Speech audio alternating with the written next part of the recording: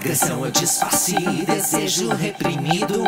Um beijo resolve pra queimar bem direitinho.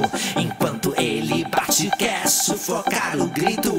O que tem lá dentro do armário é seu medo escondido.